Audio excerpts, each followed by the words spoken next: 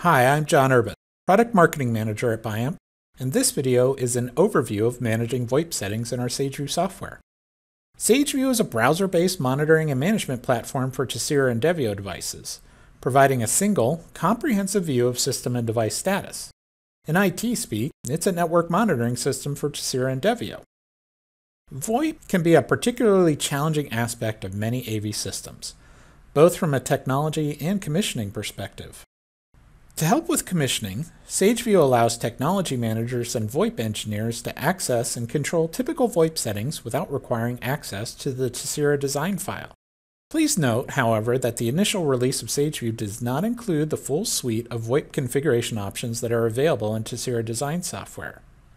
So there may still be scenarios that require additional VoIP settings to be made directly in design software. To access VoIP settings, go to the Devices page. Click on the device you want to manage, and then open the VoIP tab. If you've mistakenly selected a device that does not have VoIP capabilities, this tab will display a message saying this device does not support VoIP, and the configuration options will be hidden. You can configure both VoIP lines of our SVC2 card for server and server I.O., as well as both lines for VoIP-enabled models of Tesira Forte. For server I.O., you can select from a drop-down of card slots to indicate which card you want to configure. Or you can configure all SVC2 cards on the device simultaneously.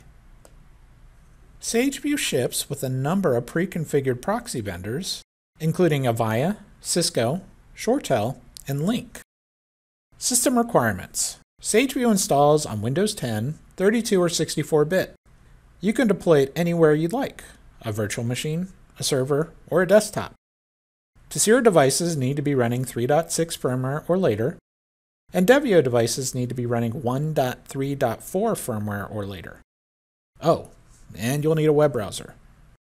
As you can tell, we're very excited about SageVue and hope you will be too.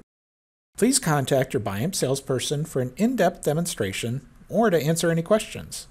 Thanks for watching.